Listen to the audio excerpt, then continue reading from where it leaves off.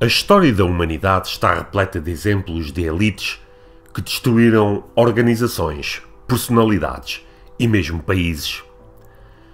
Um exemplo crasso vem-nos do século XIX, onde no Império Austro-Húngaro e na Rússia Imperial, as elites bloquearam mudanças essenciais para o desenvolvimento das suas nações. Durante o século XIX, quando os caminhos de ferro se estavam a expandir pela Grã-Bretanha e pelos Estados Unidos, uma proposta de construção de uma ferrovia foi apresentada a Francisco I, imperador da Áustria.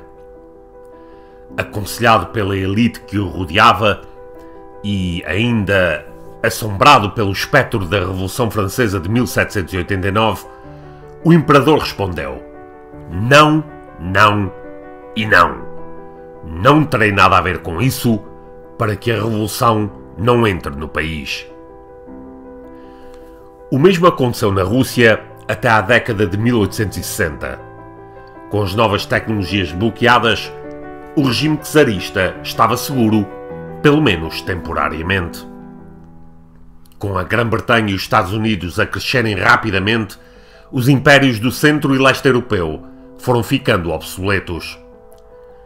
Na década de 1840, a Grã-Bretanha passava por uma febre ferroviária na qual mais de 10 mil quilómetros de linhas foram construídas, enquanto apenas uma ferrovia corria a vasta Rússia continental. Mesmo essa linha não foi construída para benefício do povo, tinha apenas 27 quilómetros e ligava São Petersburgo até às residências imperiais do czar em Tsarskoye Selo e Pavlovsk.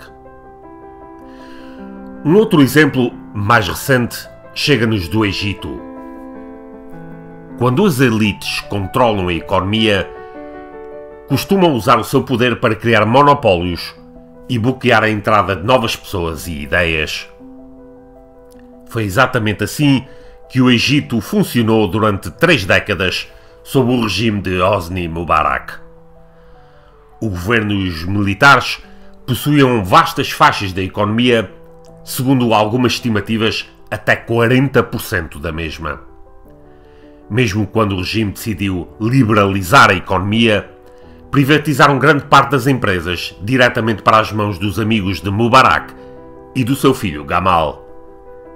Juntos, essa elite era conhecido, conhecida como baleias. O seu domínio sobre a economia gerou lucros fabulosos para os membros do regime, mas bloqueou oportunidades para a vasta maioria do povo egípcio, que permanecia numa situação de pobreza generalizada. Enquanto isso, a família Mubarak acumulou uma vasta fortuna, estimada em mais de 70 bilhões de dólares.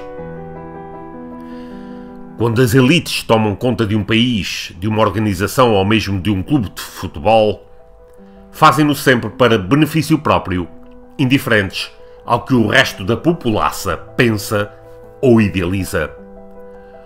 O caso do Sporting é um exemplo cabal de um clube gerido por uma elite que se serve da instituição para atingir ganhos reputacionais ou financeiros. Imbuídos de uma suposta superioridade intelectual e sabedores da propagação das suas ideias, agem de forma corporativista, protegendo-se uns aos outros e aos interesses que representam.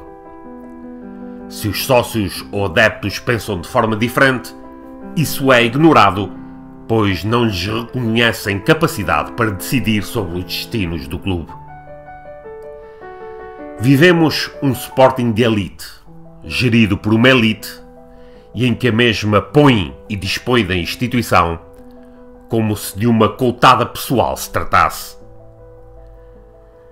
Não são raros os casos em que ignorar o sentimento popular resulta em convulsão e mudança radical dos poderes instalados.